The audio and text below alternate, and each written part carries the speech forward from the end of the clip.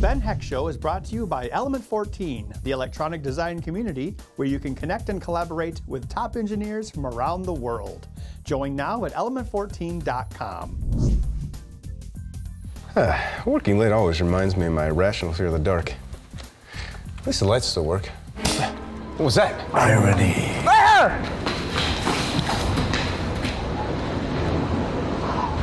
I am the ghost of unfinished projects. I gotta call Ben. Ben, the ghost of our unfinished projects has come back to haunt us. You gotta get back to the shop right now. Let's get started. Amazing hacks. How can we make this portable? Inspired designs. I am the internet troll. Regrettable acting. Batten down the hatches! Each week, Element 14's The Ben Heck Show brings you innovative projects using electronics, engineering, and more.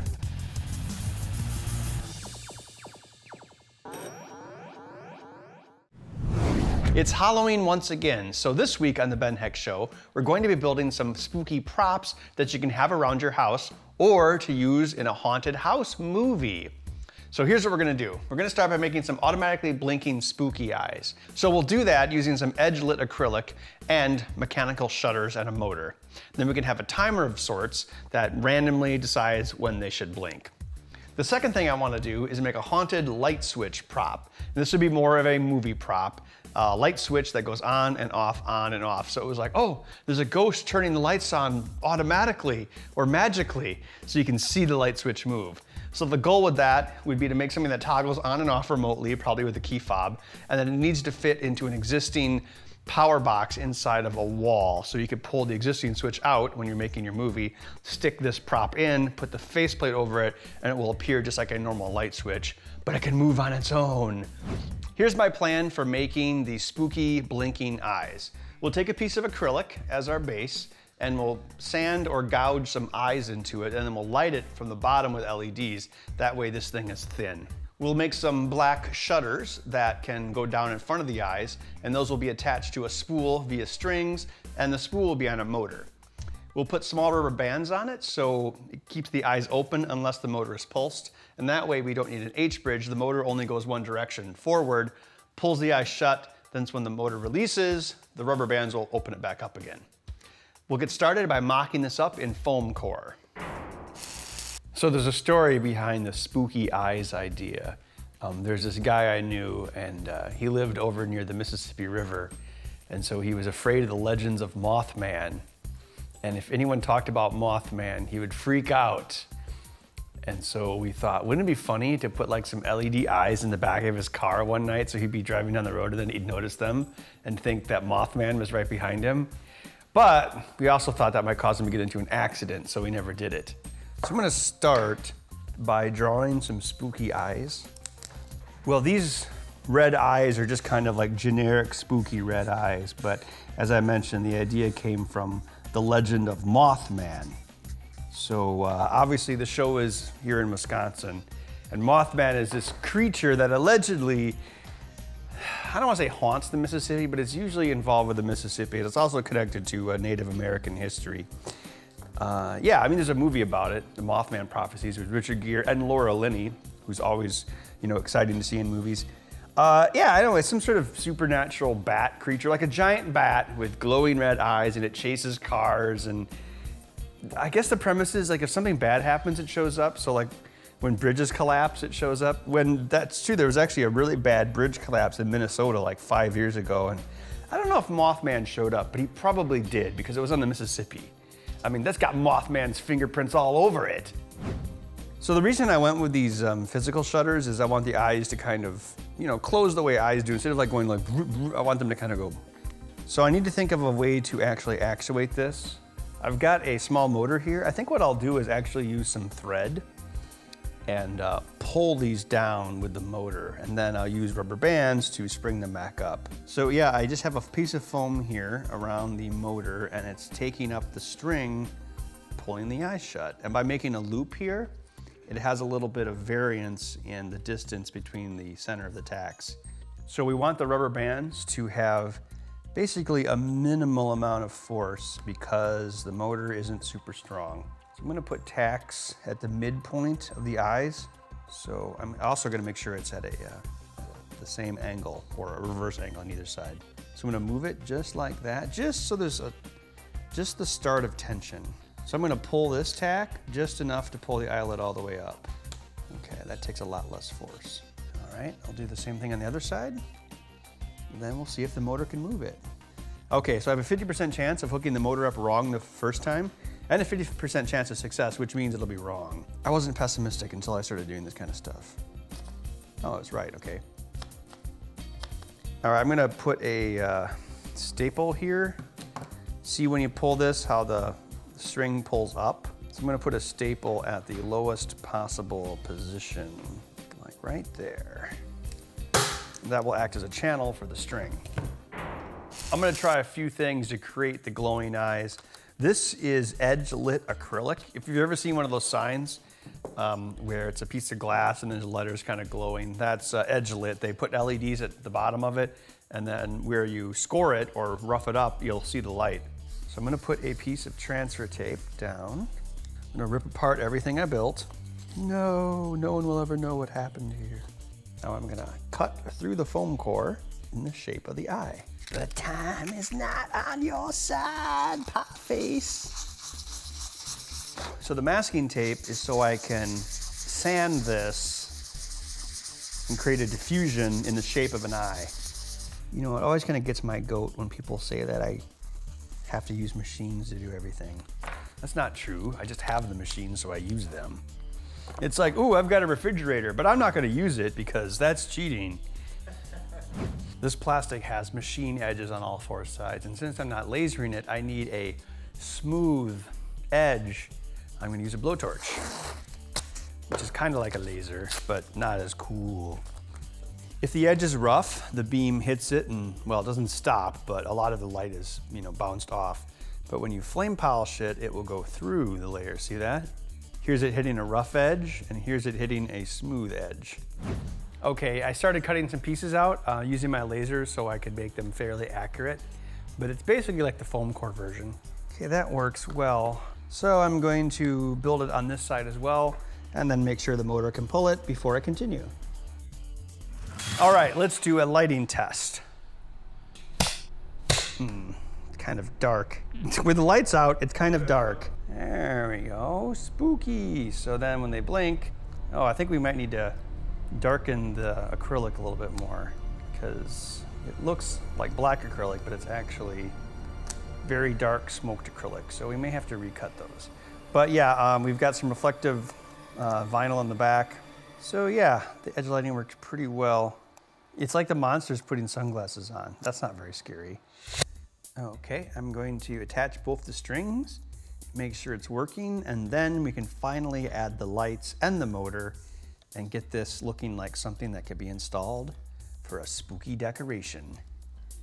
Totally spooky. All right, let's try it with both eyelids. Oh, crap. Well, I need to attach it to the spool better, but it seems like it works. It's time for a tech timeout. We've had such an overwhelming response lately to our project requests that we brought on a new person to help us. Hi, I'm Karen Corbeil. Hi, Ben. Hello, Karen. Tell us what you're going to be doing for the Ben Heck Show. I'm going to be interacting with our audience on the Element 14 community as The Heck with Karen, as well as posting and commenting as The Ben Heck Show on Facebook, YouTube, Twitter, and Google+. That sounds awesome. Karen is going to be the live conduit between you, our audience, and our show's production. So you can get more information about what's going on, as well as be a part of the actual show production itself. I'll be seeing you online.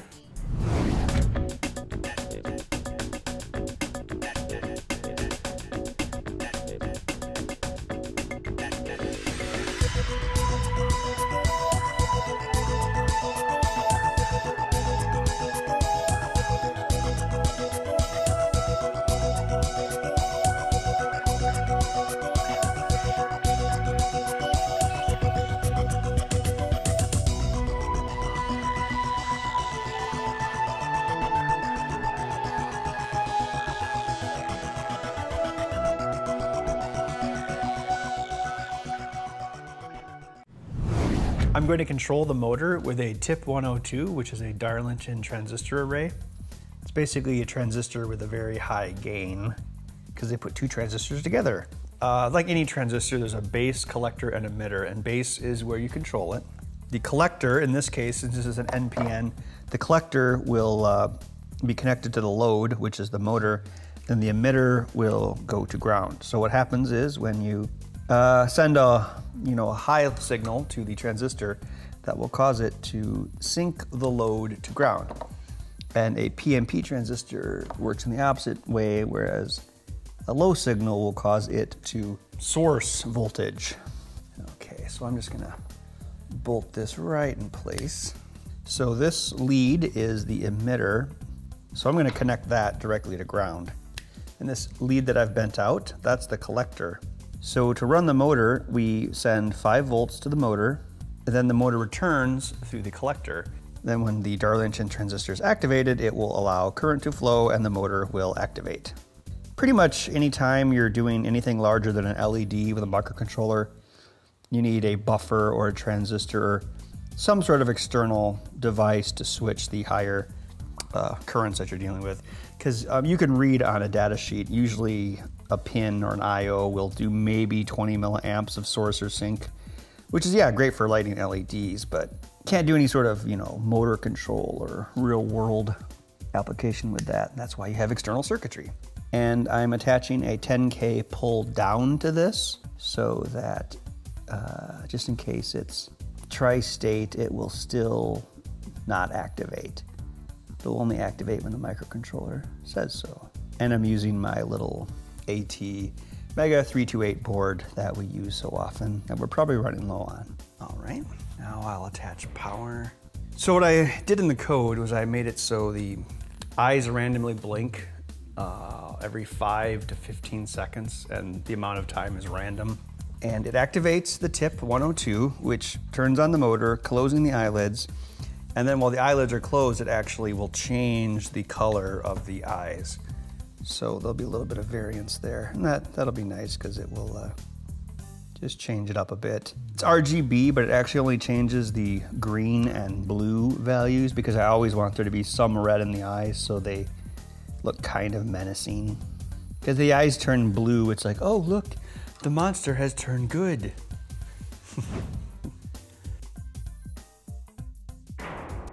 okay, quick overview of how I made the blinking eye Halloween effect. There are mechanical shutters that go down in front of the eyes. Uh, they have rubber bands on them, which keep them in the up position when not in use. Uh, every so often, the AVR board will pulse the TIP 102, energizing the motor, which will pull the eyelids down, causing the blinking effect. That was a cool transition. Darkness falls across the land. The midnight hour is close at hand.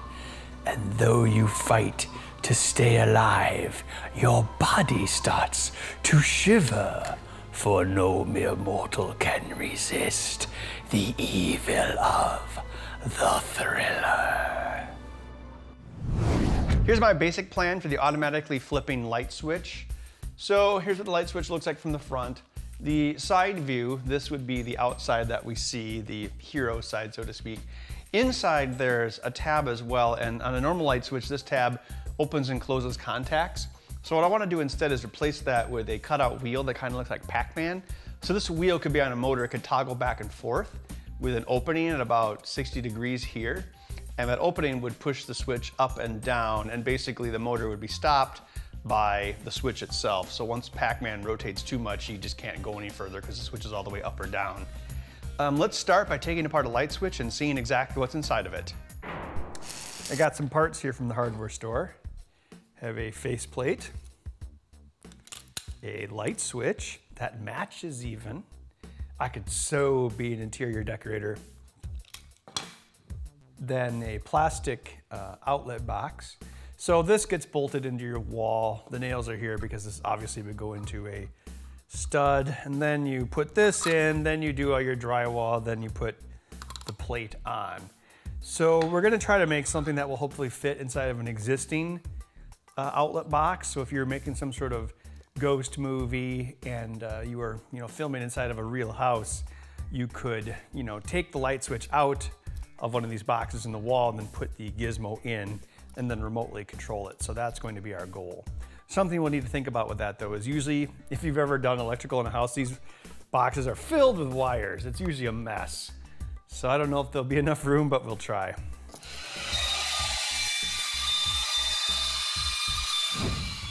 All right, so we have a pretty decent amount of depth in this. Of course, this is a you know brand new box. You never know what might be in an existing house if it's any bit old.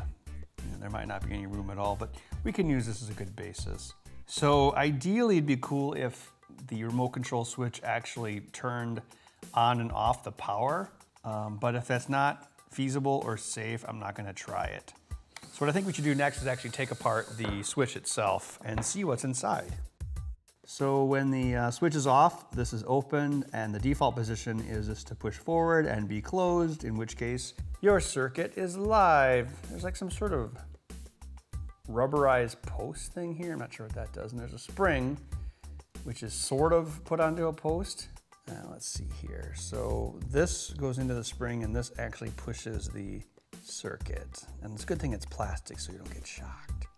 All right, so my first test here is I have this um, printer motor and there's a Pac-Man shaped wheel on it. And I'm gonna see if that wheel will actually move the switch. So if we can't get this to actually open and close the circuit, the backup will be to at least make it a functional prop. Okay, let's give it some voltage. Oh, all right, let's reverse the voltage manually since I don't have an H-bridge wired up yet. Okay, that seems like a pretty effective way to do it. Then what I was planning to do was use one of these key fob receivers. So you have a key fob, like, you know, for your car. And this is the receiver for it. And you can actually set up to uh, three to the 256 power combinations um, with these lines here. And it's pretty simple. You push the button and one of these four lines goes high. So you have up to four channels. So what we could possibly do is have forward and back. So use this to drive an H bridge to actually control the motor going forward and back. Okay, here's what I've rigged up for the test. We have the key fob here, and it has four outputs. We're only going to use two of them. Over here is the H bridge, which consists of four transistors two PNPs at the top and then two NPNs at the bottom. And what you do, I've actually got the wires color coded here. If uh, these two, if this is a zero and this is a one, the motor will spin in one direction. And these blue ones, if this is a zero and this is a one, the motor will spin in the other direction. So between the H bridge and the key fob, I have a NOT gate, and that allows me to take the single bit and turn it into two bits of logic because it's basically zero, one or one, zero.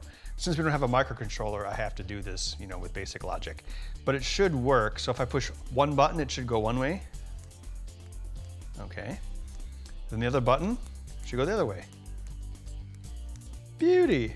And uh, yeah, I mean, this should be good enough for what we want to do. So basically, one way we'll turn the light on, one way we'll turn it off.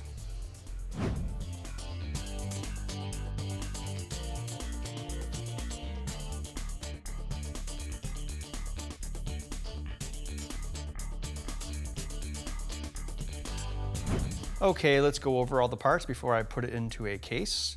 Here's standard light switch and it's connected to a Pac-Man shaped disc on a motor that will actually actuate it. Here's the antenna for the key fob. H-bridge with a NOT gate. I put a surface mount one in place. So filter capacitor and then finally 4A batteries. So yeah, I did manage to get this small enough to fit into a single box.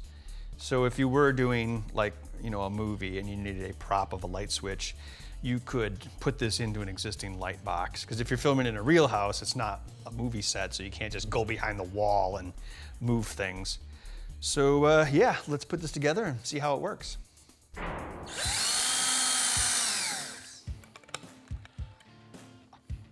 All right, so this is the remote control spooky light switch movie prop. I'm gonna set it down and then go trigger it remotely. No, wait, it could be a scene in a spooky movie. Boom! Boom! Ah! I can't see anything! The lights are out! Oh, oh the lights are back on. Oh, thank God, thank God. Ah! Then the lights go out again, and then there's something behind her. For this episode's challenge, we built some spooky devices just in time for Halloween. First, we made some glowing eyes with mechanical shutters to make them blink. I feel they worked out pretty well, and it was cool that they changed color slightly with every blink. By using edge-lit acrylic, we were able to light it from below, not the back, to make it thin and easy to mount in more places. I would have preferred the eyes be brighter, but they look just fine in the dark. Next, we built a light switch movie prop that can turn itself on and off via remote control. It was kind of a challenge getting everything to fit within a standard electrical box, and we ultimately weren't able to make it actually disconnect the AC.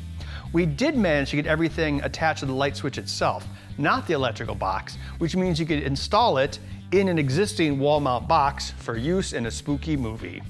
How would you have approached this week's builds? Have you ever made custom Halloween props before? Let us know in the Element 14 community, where you can also keep track of our upcoming builds, episodes, and special events. We'll see you next time. That's odd. Ah! What the heck is going on here? It's all dark and spooky. Felix? Where are you?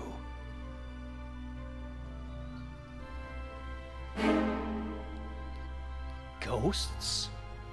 We are the ghosts of unfinished projects past. We will not leave until you make us whole. Ah! The light! Our ghostly powers diminishing. Monofilament exposed. That's right. You're the ghost of dead projects. She should stay that way. Dead. Except for the automatic can crusher, which I'd still like another crack at. Oh, be bad. Only in reruns, which you can watch at element14.com forward slash TBHS.